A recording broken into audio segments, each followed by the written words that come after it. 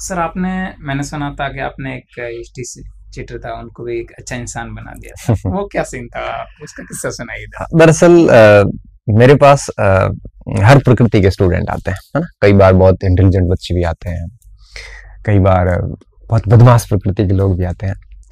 एक बार एक ऐसा भी हुआ जिसमें एक स्टूडेंट एक उसकी मम्मी लेके आई थी तो मैं फ़िज़िकल की तैयारी कर रहा था एसी की मेरी उससे मुलाकात होती है। तो मेरे को उसने सीधा यही पूछा, क्या कर रहा है? मैंने कहा, मैं तो फ़िज़िकल की तैयारी कर रहा हूँ। मेरे को भी करनी है। मैं फ़िज़िकल किसकी? मैंने कहा, मैं एसी की तैयारी कर रहा हूँ। मुझे भी करनी है। अच्छा। मैंने मिलना मेरे से? मेरे से मिला, बात हुई। फिर कहा, नहीं नहीं है ये सिलेबस मेरे से बैठेगा नहीं। तभी कोई दूसरी वैकेंसी आई थी, वो उसके सिलेबस के अकॉर्डिंग था।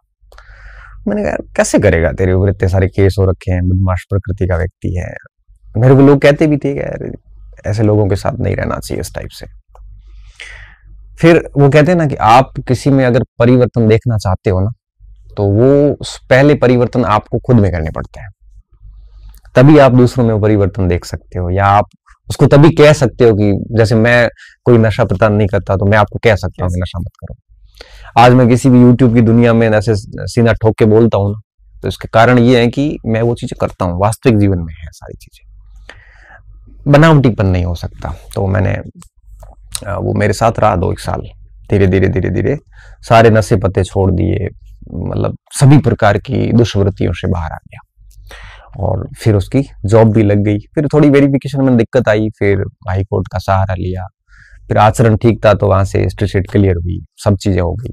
बढ़िया तरीके से नौकरी कर रहा ऐसे कई उदाहरण है मेरे पास। जब आपराधिक प्रवृत्तियों के लोग, लड़के ठीक हो गए, सही हो गए आप गुस्सा होकर नहीं बोला? हम्म, नहीं। बाहर मिलो। नहीं नहीं ऐसा नहीं। देखो एक स्टूडेंट कैसा व्यवहार करेगा ये शिक्षक के व्यवहार डिपेंड करता है। मैं पिछले दस साल से पढ़ा रहा हूँ मुझे कभी कोई स्टूडेंट ऐसा नहीं आया जिसने मेरे से ऊँची नज़र से बात भी की बहुत रिस्पेक्ट करते हैं। देखो बच्चा दो चीज़ों से डरता है।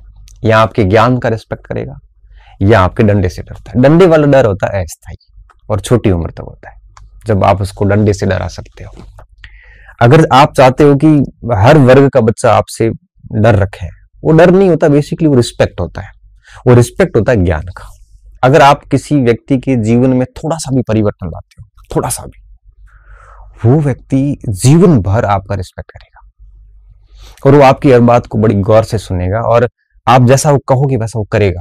और कई बच्चे ऐसे आते जिन वो माता पिता की भी नहीं मानते, लेकिन टीचर की मानते हैं।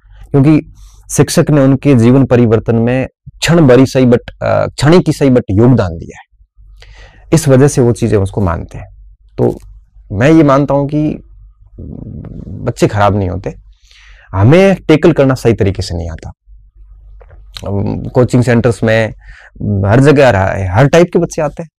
कई तो बड़े अफलातून होते हैं और कई अलग टाइप के भी होते हैं, सबको लेके चलते हैं। कभी दिक्कत नहीं आती। कॉलेज में भी कई शरारती बच्चे आते हैं। और लास्ट में बड़ा रिस्पेक्ट करते हैं सर, नमस्कार। क्यों? क्योंकि हम उसको उस लेवल पे ट्रीट करते हैं। तो बच्चे के साथ आप बढ़िया तरीके से बात करोगे ना, उसकी समस्या को समझोगे। अब मैं क्या करता हूँ? कोई बच्चा बहुत बदमाश है, उसको सबसे पहले उसको थोड़ा सा उसके परिवार पे ले जाके रियलाइज़ करवाता हूँ, तेरे माँ बाप की क्या कंडीशन है, तेरे परिवार की क्या कंडीशन है। थोड़ा सा इमोशनल करता है। इमोशनल करने के बाद फिर डांटता हूँ। डांटने के बाद उसको थोड़ा सपने दिखाता हूँ कि ऐसे कर। और फिर कहता हूँ कि इसको इस तरीके से करेगा तो ये चीज़ें हो जाएगी, इसके परिणाम क्या निकलेंगे। बच्चा सोचने के लिए मजबूर होता है। घर जाके सोचता है कि मुझे ये करना चाहिए अब। और देखना धीरे धीरे हाँ। धीरे धीरे धीरे धीरे उसमें परिवर्तन आते हैं। मैं सीनियर सेकेंडरी में जब स्कूल लेक्चर था तो तो वहाँ पे बारहवीं के एक दो बच्चे बाप सोचो उसमें एक 302 का था मुकदमा था उसके ऊपर एक तो। और लास्ट में वो बहुत बढ़िया तरीके से स्कूलिंग करके निकलता है उसके माता पिता ने मेरे को कहा कि ये तो आप ही सुधार सकते थे। पता नहीं कैसे सुधार दिया ये तो हमारी बात ही नहीं मानता। और बहुत सीधा लड़का है।